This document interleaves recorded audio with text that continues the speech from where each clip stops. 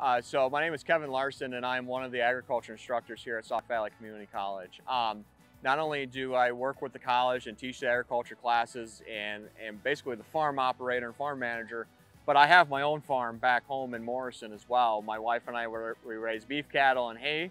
Uh, so we sell hay to people who feed horses, feed livestock, things like that, as well as feed our own animals.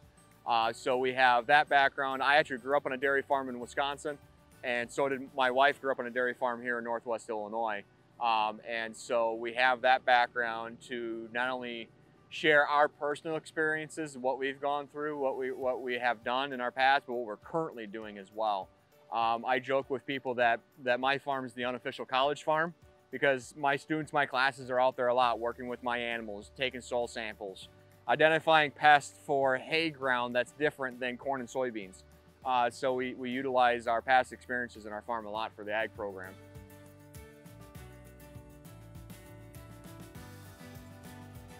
So my college background, I actually started at a college very similar to Sauk Valley Community College, a community college back home called UW Baraboo, Sauk County. Uh, again, being from Wisconsin and their community college system. I spent two years there. Actually, uh, my first year was in ag business, sales and marketing major, and I wanted to be in the sales realm.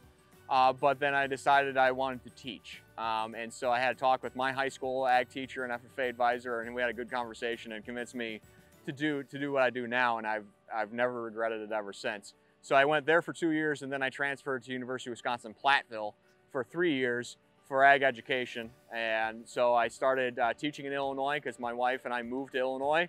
Um, and we, uh, I taught high school ag classes for six and a half years. And then I worked for the State Board of Education for three and a half years, helping advise the ag programs in Northwest Illinois.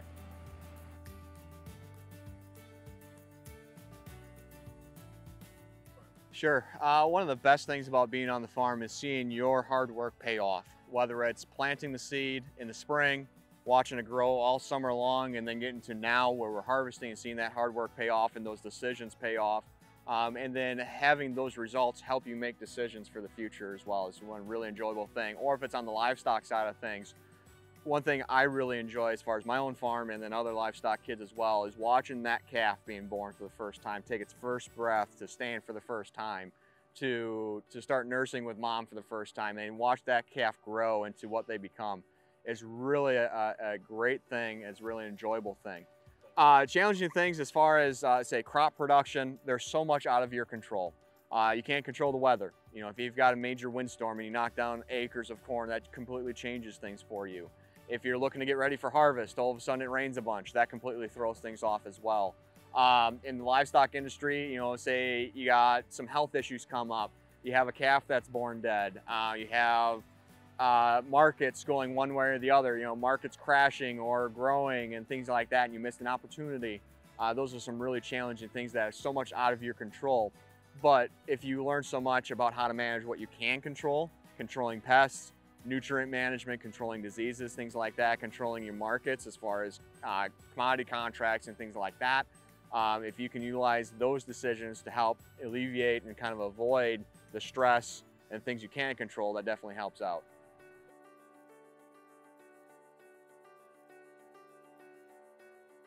There's plenty of pathways within the agriculture program at Sauk Valley Community College. Um, if you want to, go back to the family farm and do crop production. That's great. We'll help you get prepared. We'll go through the plant science, the soil science, the mechanics of things, the business management, the things you need to know to be successful on the farm on the farm setting. If you're looking more in the livestock setting, we've got the animal science classes and as well as the business management, things like that to get more in the livestock production.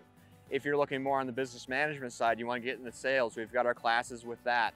Uh, and the experience and the partnerships we have with our sales professionals within their community that come on, that come on and coach our students in those sales, sales realms. But if you're looking to transfer to university, we can help you prepare for that as well to, for a bigger degree.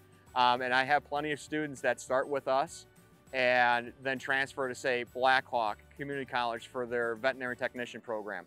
Uh, we, we have about three or four every year at least, or every semester at least, to that do that. And I also have a couple students every year that are in the veterinary science field that that's what they want to do. They start here at Sauk, transfer to say Platteville or University of Illinois, Iowa State, wherever, and to finish off their pre-vet degree, then apply to vet school and become veterinarians. Um, so we have a lot of different pathways, whether you want to go into production ag, whether you want to go into the research side of things, whether you want to get into the business management, animal science, veterinary science, things like that. We've got so many different pathways, so many options for you. Not to, not to mention the technology side of everything, whether it's precision farming and precision planting and all the technology within the combines and the tractors and the spraying equipment, we have all that covered.